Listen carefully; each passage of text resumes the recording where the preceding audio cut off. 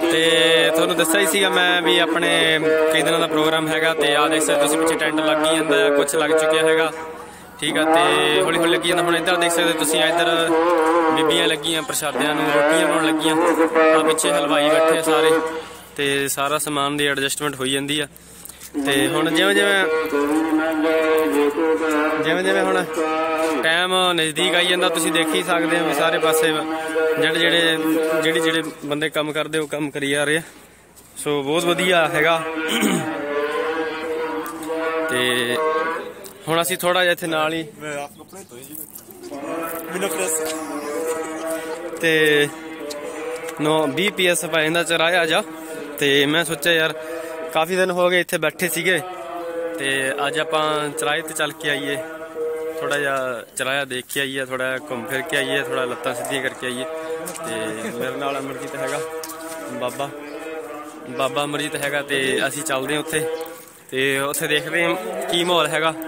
ਕਿਉਂਕਿ ਅਸੀਂ ਗੱਡੀ ਦੇ ਬੱਸ ਤੇ ਬਾਈਕ ਤੇ ਜਾਂਦੇ ਨਹੀਂ, ਤੁਰ ਕੇ ਜਾਵਾਂਗੇ। ਤੇ ਤੁਰ ਕੇ ਜਾਵਾਂਗੇ ਥੋੜਾ ਰਾਸਤਾ ਕੀ ਆ, ਸੜਕ ਹੈਗੀ ਆ। ਸਹੀ ਮੈਂ ਹੁਣ ਰਸਤਾ ਸਹੀ ਹੋ ਜਾਣਗੀਆਂ। ਕਈ ਦਿਨ ਹੋ ਗਏ ਇੱਥੇ ਬੈਠੇ ਬੈਠੇ। ਤਾਂ ਕਰਕੇ ਆਹਾ ਅਮਰਜੀਤ ਪਿੰਡ ਵਾਲੇ ਬਾਬੇ ਨਾਲ ਗੱਲਬਾਤ ਕਰੀ ਜਾਂਦਾ। ਤੇ ਆ ਗੁਰੂ ਘਰ ਹੈਗਾ ਪਿੰਡ ਦੇ ਵਿੱਚ। ਉੱਥੇ ਬਾਬਾ ਜੀ ਸੇਵਾ ਕਰਦੇ ਆ। ਤੇ ਮੈਂ ਅਮਰਜੀਤ ਨਾਲ ਲੈ ਕੇ ਚੱਲਦੇ, ਮੈਂ ਕਿਹਾ ਚਲੋ ਦੇਖ ਕੇ ਆਈਏ। ਆ ਤੁਸੀਂ ਦੇਖ ਸਕਦੇ ਹੋ ਪਿੰਡ ਵਾਲਾ ਗੁਰਦੁਆਰਾ ਸਾਹਿਬ ਹੈਗਾ। ਕਾਫੀ ਵਿੱਚ ਇਹਦੇ ਅੰਦਰ ਹਰਿਆਲੀ ਵਗੈਰਾ ਹੈਗੀ ਹੈ ਲਾ ਰੱਖੇ ਦਰਖਤ ਦਰਖਤ ਪੌਦੇ ਵਗੈਰਾ। ਤੇ ਹੁਣ ਚੱਲਦੇ ਆ।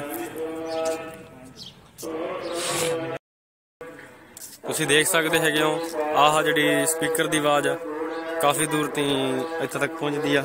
ਓਏ ਐਂ ਦੀ ਚੱਲੀਏ ਕਿ ਐਂ ਚੱਲੀ ਸਿੱਧਾ? ਐਂ ਚੱਲੀਏ? ਚੱਲ ਐਂ ਚੱਲਦੇ। ਤੇ ਕਾਫੀ ਉੱਤੇ ਹੁਣ ਸਪੀਕਰ ਲਾਤੇ ਪਹਿਲਾਂ ਤਾਂ ਹੈ ਨਹੀਂ ਸੀ ਪਹਿਲਾਂ ਤਾਂ ਅੰਦਰ ਅੰਦਰ ਸੀਗੇ ਲੱਗੇ ਹੋਏ। ਤੇ ਇਹਨਾਂ ਦਾ ਪ੍ਰੋਗਰਾਮ ਹੈਗਾ। ਪਿੰਡ ਵਾਲਿਆਂ ਨੂੰ ਸੁਣਾਵਾਂਗੇ ਪਾਠ। ਹਾਂ ਹੁਣ ਆਹ ਪਾਠ ਸਾਰਾ ਪਿੰਡ ਵਾਲੇ ਸੁਣਨਗੇ। ਪਹਿਲਾਂ ਜਿਹੜੇ ਪਾਠ ਰੱਖੇ ਸੀ ਉਹ ਅਸੀਂ ਕੱਲੇ- ਅਸੀਂ ਪਹਿਲਾਂ ਅਸੀਂ ਕੱਲੇ ਕੱਲੇ ਸੁਣਦੇ ਰਹੇ ਬਾਬੇ ਬਹਿ ਕੇ। ਬਾਬੇ ਕੱਲੇ ਪੜ੍ਹਦੇ ਸੀ ਕੱਲੇ ਬਾਬੇ ਪਾਠ ਚੱਲਦੇ ਰਹੇ। ਤੇ ਆ ਹੁਣ ਪਿੰਡ ਵਾਲਿਆਂ ਨੂੰ ਸਾਰਿਆਂ ਨੂੰ ਸੁਣਾਇਆ ਜਾਊਗਾ। ਕਿਉਂਕਿ ਪਹਿਲਾਂ ਅੰਦਰ ਹੀ ਸਪੀਕਰ ਸੀ ਉੱਥੇ ਨਹੀਂ ਲਾਏ। ਆ ਹੁਣ ਅੱਜ ਸਾਊਂਡ ਸਿਸਟਮ ਵਾਲਾ ਆਇਆ। ਉਹਨੇ ਉੱਤੇ ਸਪੀਕਰ ਲਾਤੇ ਤੁਸੀਂ ਦੇਖ ਸਕਦੇ ਹੋ ਆਵਾਜ਼ ਕਾਫੀ ਦੂਰ ਤੱਕ ਜਾਂਦੀ ਪਿੰਡ ਦੇ ਵਿੱਚ। ਤੇ ਪਿੰਡ ਵੀ ਠੀਕ ਆ ਬਾਵਾ ਬਾਲਾ ਵੱਡਾ ਤਾਂ ਨਹੀਂ ਪਰ ਠੀਕ ਆ ਵੀ। ਬਾਲਾ ਛੋਟਾ ਵੀ ਨਹੀਂ ਮੀਡੀਅਮ ਠੀਕ ਜਿਹਾ ਪਿੰਡ ਹੈਗਾ। 9 ਪੀਐਸ ਪਿੰਡ ਦਾ ਨਾਮ ਹੈਗਾ ਇਹਦਾ। ਬਾਕੀ ਕੁਝ ਘਰ ਇੱਥੋਂ ਦੇ ਲਗਭਗ ਬਾਹਰ ਗਏ ਹੋਏ ਆ। ਜੇ ਇਹਨਾਂ ਦੇ ਘਰੇ ਪ੍ਰੋਗਰਾਮ ਹੈਗਾ, ਇਹ ਵੀ ਲਗਭਗ ਬਾਹਰ ਹੀ ਰਹਿੰਦੇ ਤੇ ਇੱਥੇ ਪ੍ਰੋਗਰਾਮ ਕਰਾਉਣ ਵਾਸਤੇ ਹੀ ਹੁੰਦੇ ਆ। ਗੁਰੂ ਤੇਗ ਬਹਾਦਰ ਜੀ ਦਾ ਸ਼- ਜਨਮ ਦਿਹਾੜਾ ਮਨਾਉਣ ਦੇ ਸੰਬੰਧ ਵਿੱਚ ਇਹ ਆ ਪ੍ਰੋਗਰਾਮ ਮਨਾਉਂਦੇ ਆ।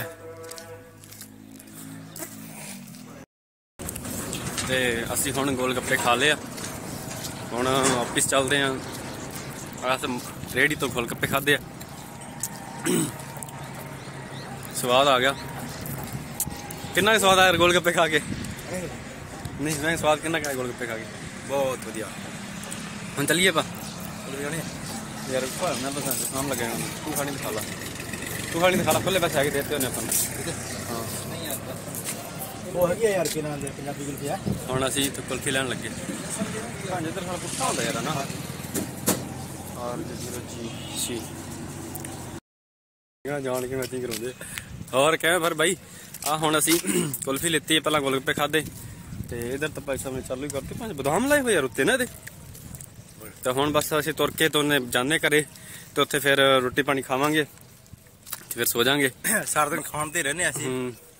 ਖਾਣ ਤੇ ਪੂਰਾ ਜ਼ੋਰ ਦੇ ਰੱਖਿਆ। ਬਸ ਆ ਹੁਣ ਆਹ ਕੀ ਕਹਿੰਦੇ ਇਹਨੂੰ? ਪੰਜਾਬੀ ਗੁਲਫੀ ਪੰਜਾਬੀ ਕੁਲਫੀ ਇਹ ਖਾਣ ਲੱਗੇ ਆ